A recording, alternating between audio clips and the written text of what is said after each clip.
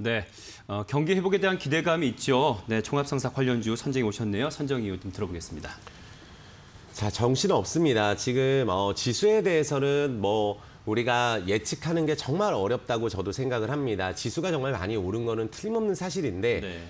어, 그렇다면 우리가 지수가 올라간다고 내게 많이 급등하고 이러는 건 확실히 아니기 때문에 그 안에서 지금 오르지 못한 섹터들을 좀 찾고 또 들어갔을 때 내일 당장 조금이라도 좀 수일 안에 좀 시세가 나올 수 있는 종목은 없을까 이게 현재 가장 중요하다고 저는 생각을 하고 있습니다. 네. 그래서 아 그래도 추세가 전체적으로 유지가 되고 있는 섹터가 상사 관련주라고 좀 말, 말씀을 드리겠습니다. 네. 선정 이유가 경기 회복에 대한 기대감이에요. 그래서 광물 지수, 금속, 곡물가, 원자재 지수가 코로나 이전 가격을 회복을 했고 원유 가격도 회복을 했죠. 그래서 전체적으로 이쪽 상사 관련주가 어 아무래도 경기 회복에 대한 신호탄이 될 수가 있고 또 작년에 사실 뭐 텍트 관련주, 여행주 이런 것들이 뭐 항공주 이런 종목들조차 올랐지만 좀 덜 오는 섹터가 좀 많이 보여지기 때문에 관련주들 중에 좀 크게 오를 수 있는 종목들을 찾아볼 필요가 있겠다 말씀드리겠습니다. 네. 자, 그렇다면 종합상사 관련주들 종목별로 좀 흐름 좀 살펴볼까요? 네. 자, 효성 TNC입니다.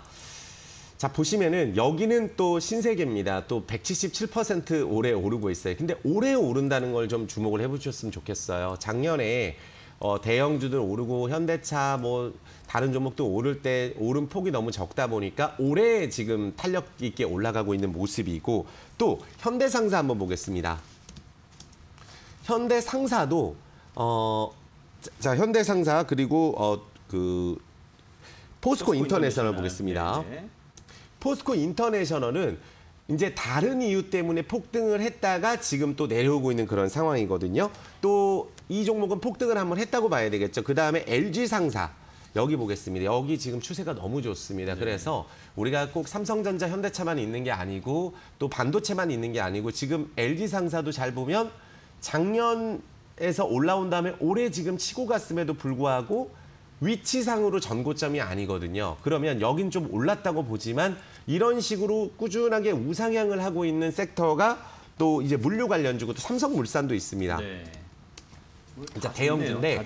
네. 다 이제 보면은 삼성물산도 어떻게 보면은 많이 오른 거는 아니거든요. 또 너무 무겁다 보니까 삼성물산은 무거워서 탄력도가 좀 떨어지는 부분들이 있어서 요 종목 안에서는 좀 바닥권에 있다고 보여지지만 탄력도는 매물대가 좀 많기 때문에 떨어지지 않겠느냐. 그래서 지금부터 우리가 좀 크게 갈 수 있는 종목을 찾는 게 중요하다고 말씀드리겠습니다. 네.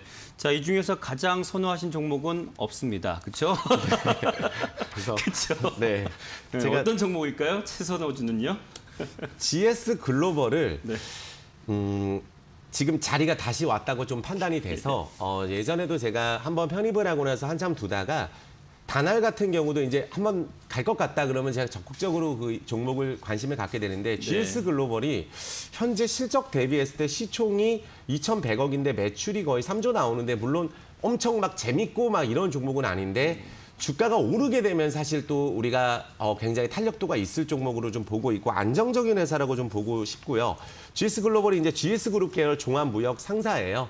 무역이나 유통 사업을 하고 있고 경기 변동의 흐름을 많이 봤는데 경기 회복 기대감이 나오고 있어요. 종합 상사 그리고 지금 대형주 상사 관련주가 오르고 있는 상황에서 중소형주는 또 크게 올라가는 경우가 많기 때문에 지금 중소형주 상사 관련주를 봐야 된다고 보고 있고 IT 분야로 또 사업 확장을 하고 있고 최근 네이버 클라우드와 플랫폼 해외 시장 확대를 통해서 GS 글로벌 협약을 맺었습니다.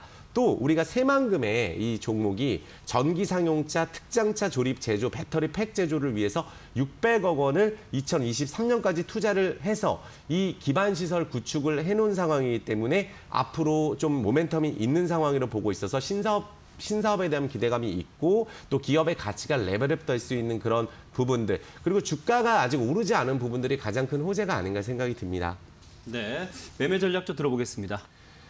자, 일단 가장 먼저 볼 게 우리가 연 차트인데 이 종목은 좀 주가가 많이 변동이 있어서 연 차트로는 보이지가 않으니까 월 차트로 일단은 우리가 한번 보겠습니다. 네.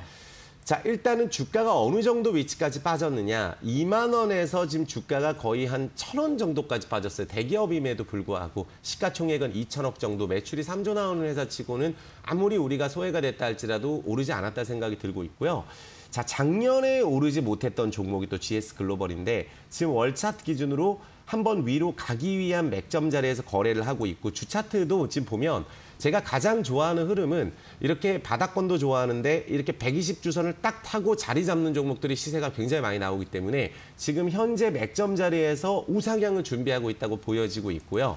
1차트 기준으로도 보면은 어, 1월 28일 날 고점을 찍고 바닥을 좀 오래 다진 모습이죠. 그렇다면 지금 편입가를 2,500원에서 2,550원 이 자리에서 한번 편입을 해볼 수 있도록 하고 전고점이 넘어가면 시세가 좀 많이 열려 있는 종목이라고 보여집니다. 올라가게 된다면 한 3,000원에서 3,500원 정도까지는 어, 가지 않을까 좀 생각이 들면서 지금 편입을 한번 다시 해볼 수 있도록 하겠습니다. 네, 테마 이슈 코스파트너스의 이정복 대표와 함께했습니다. 고맙습니다. 감사합니다.